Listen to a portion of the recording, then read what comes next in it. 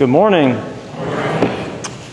Today's reading is from Luke chapter 12, verses 13 through 21. Someone in the crowd said to him, Teacher, tell my brother to divide the family inheritance with me. But he said to him, Friend, who set me to be a judge or an arbitrator over you?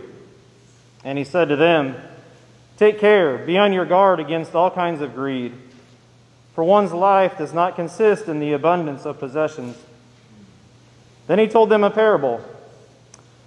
The land of a rich man produced abundantly, and he thought to himself, What should I do? For I have no place to store all of my crops. Then he said, I will do this. I will pull down my barns, and I will build larger ones. And there I will store all of my grain and my goods. And I will say to my soul, Soul, you have ample goods laid up for many years. Relax, eat, and drink, and be merry. But God said to him, You fool, this very night your life is being demanded of you. And the things you have prepared, whose will they be? So it is with those who store up treasures for themselves, but are not rich toward God. This is the word of God for the people of God. Thanks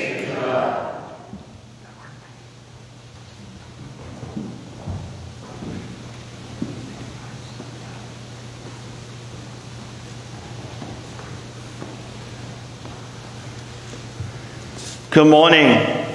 Can we all pray together? Let us pray. God, we give you thanks. We are asking the Spirit of God to be with us, guiding us and leading us and transforming each one of us, opening our hearts, opening our ears to listen to the Word of God.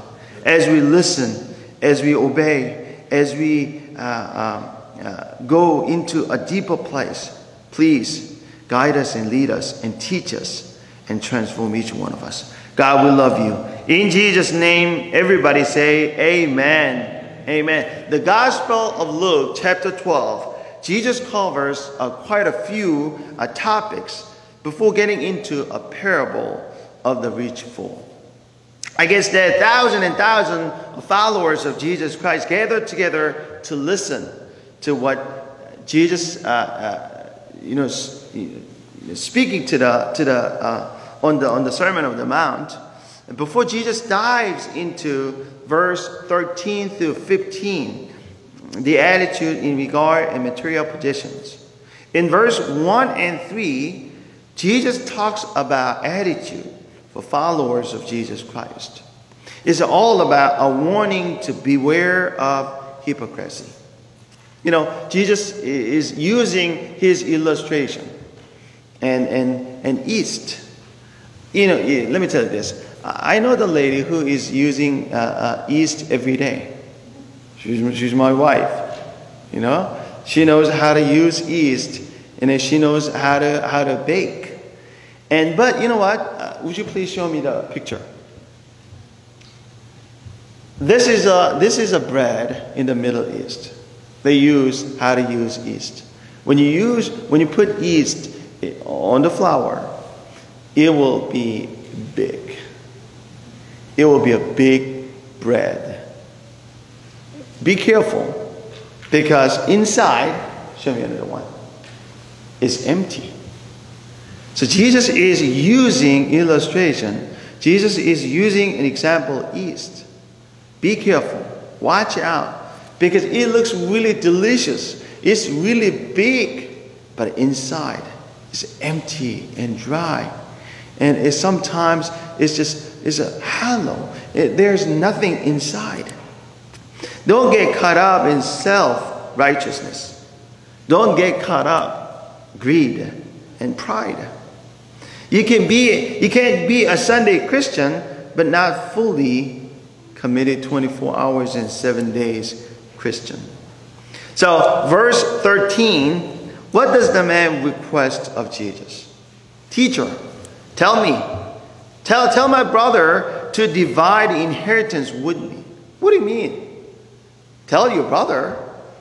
He's a very rude, uh, uh, very rude guy in the crowd shouting and, and, and, requesting and asking to Jesus to fix his problem.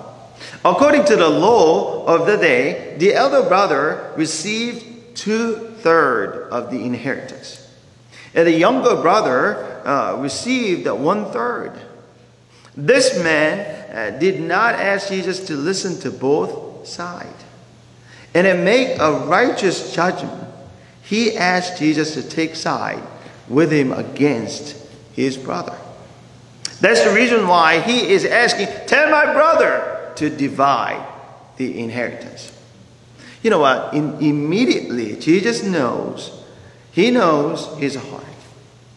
He knows this man is more concerned about money than about the fair share, social justice, equal pay, and equal respect, or seeking for God's will or commitment.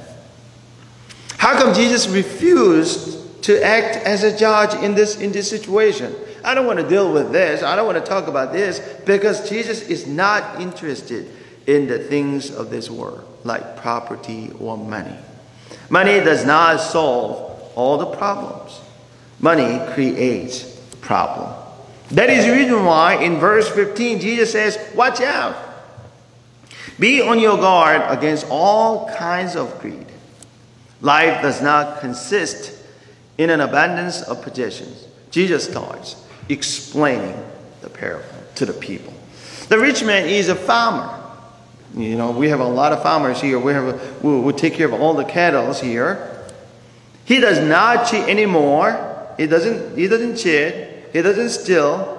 He does his job to get this fill. Or he doesn't abuse his employee. He does not steal. Or he does not rob from the poor. God bless him with a right soil and sun and, and rain as well. He becomes very rich, very, very rich, so that he is thinking that, oh, yeah, you know what? I have a lot of things. I have a lot of things in my pocket. You know, I am getting richer and richer, and I'll probably, you know, destroy my barn, and I am going to build a bigger one, so that I can store all my goody and valuable stuff. In verse 19, he says to himself, "I have plenty of grain laid up uh, for many years to come." This is very important. Take life easy Eat and drink and be merry. What does the rich man do? He pulled down his barn. He built really bigger one.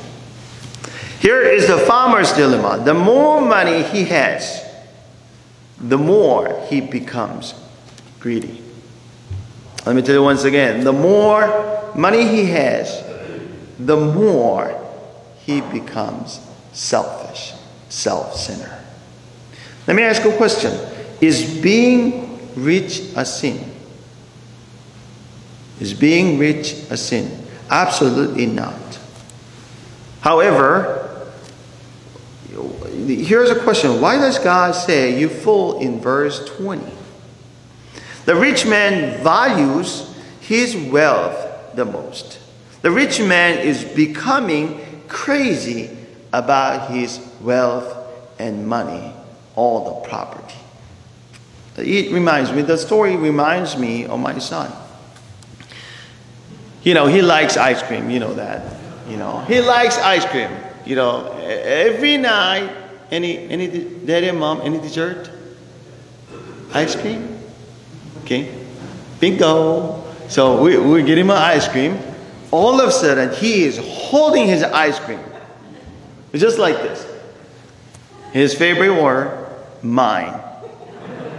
And the other one is no way. Mine and no way. So he is holding his ice cream. I think he is crazy about his ice cream. Okay? He's looking at me right now. Okay? All right? Okay? but all of a sudden, I ask him a question Hey, you want to share with us? You want to share your ice cream with us? He said, all of a sudden, he's becoming his, I don't know, I don't know who taught that, but you know what? Probably from, from us, Esther, right? So all of a sudden, he's like, no. Why? He goes to Lincoln School, right? You know, it's like, no. Why? It's just like this. It, this is an Asian face, you know? No way, you know? And all of a sudden, you don't want to share your ice cream. I don't want to share. Okay, you can eat everything. Next one. He ate all. You know what? There is nothing wrong with being rich, but watch out. Because wealth can create snares and temptations. Wealth can bind, you know, blind your eyes. Wealth can give you a false and a wrong sense of security and directions. One of the sermons of the mountain in the Gospel of Matthew, chapter 6, Jesus teaches his followers about giving to the needy and treasures in heaven. Let me explain this. Matthew chapter 6, verse 3 to 4. When you give, when you give to the needy, do not let your left hand know what your right hand is doing, so that your giving may be in secret. Then your heavenly Father, who sees what is done in secret, will reward you. Okay? All right. Do not store, do not store up for yourselves. Why don't you store up for yourselves in heaven?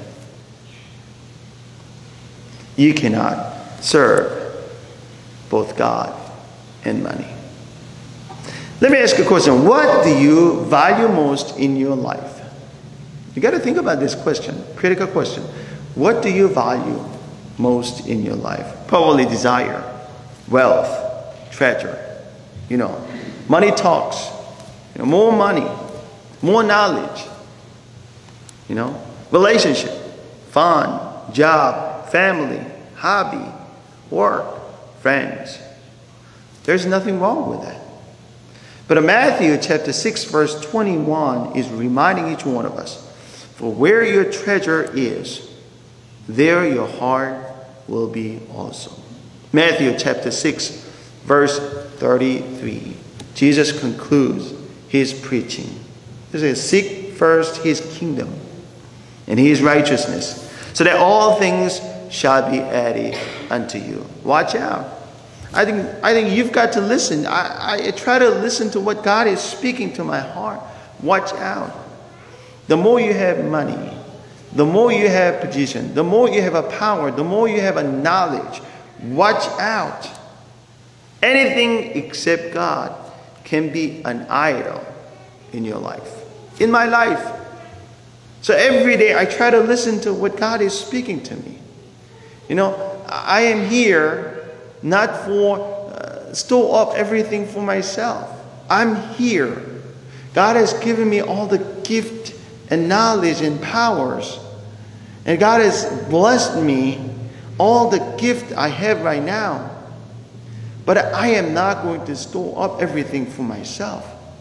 I am willing to share my gift and talent and presence and time with my brothers and sisters in the world live today. If I think I am here for making money and using all the money and enjoying my life, done, no. This is not my purpose. My purpose here, I, God has given me a well. God has given me all the gift and all the all the talent and all the powers. I, I, I am a good I am a good uh, uh, uh, Christian. I'm a good disciple of Jesus Christ. I need to uh, manage all the things wisely, not only for myself, for God's kingdom, and for brothers and sisters in the community we live today. The rich man the farmer in the parable views and values his wealth as an opportunity to please only himself. He may have forgotten about giving and sharing his wealth with others. The rich man is really, really rich, but he is bankrupt. He is dry and empty and thirsty and hungry and selfish spiritually. Jesus is pointing out his selfishness in his heart and rebuking his greedy heart as well. You know what? Uh, we're not called, let me ask you, let, let me tell you this. We're not called to store up our health, our, our wealth for ourselves. We are called to share what we have with other brothers and sisters. We are called to be generous. The parable of rich fool that is written only in the Gospel of Luke. The Gospel of Luke gives us a spiritual lesson that we as a Christians must be hungry for God. Not hungry for our desires, not hungry for our wealth and treasures on earth, we should not be greedy and we should not be self centered, but fully aware of the danger of placing our value on our own secular desires or worldly positions. Let me, let me explain this. Everything we have is from God. Amen today. Everything we have is from God. Gift. And, and how to value and use our gift wisely to make a difference to lead people to Christ, to help people who are in need, to extend his mission and service for his kingdom.